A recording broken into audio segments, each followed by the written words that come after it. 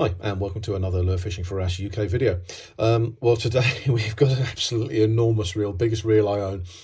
So this is the latest model of the Shimano Saragosa SW 20000 PG. So before we come on to this massive reel, let's just go through some specifications on it first of all. Um, so it's got a 4.4 to 1 gear ratio. It's got 22 kilos of drag. Wow. It weighs 935 grams. It's got a six, uh, six point, sorry, six plus one um, bearings. It will retrieve 104 inches per turn, and it'll take approximately 350 meters of PE8. Now, in the box, what do we get in the box? Um, my receipt, plastic bags, um, more receipts, more bits of rubbish. Uh, so spool band, um, small shims that I didn't need. I was glad to not have to use.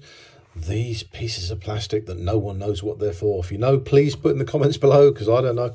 Um, schematic and an instruction manual. So let's just put all that back in, the box and then we'll go through the reel itself.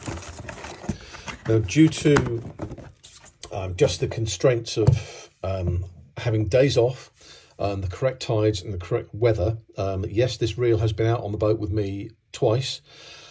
We've yet to use it, which is a bit annoying. Um, but that's how it is. Uh, hopefully we're sharking on Friday, so fingers crossed this will catch me a blue shark. Maybe even a porgy, who knows.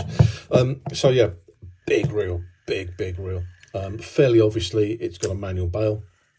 Um, the easiest thing I find instead of using their spool bands is because they're cheapest chips, um, hairbands. I, I just tie a piece of um, braid on the end of it just so I can grab it to pull it off easily.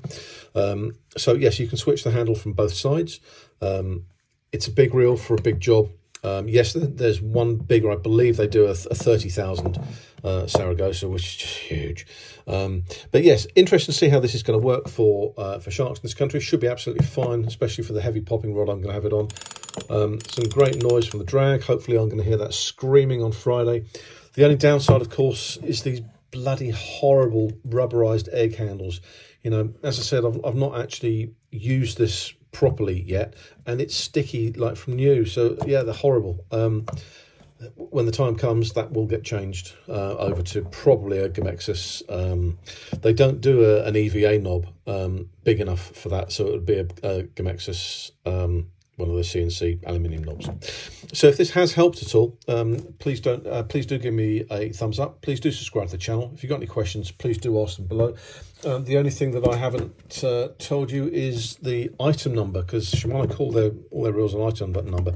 So this is the item number SRG 20000 SWAPG. There we go. Uh, many thanks. I'll speak to you soon. Bye.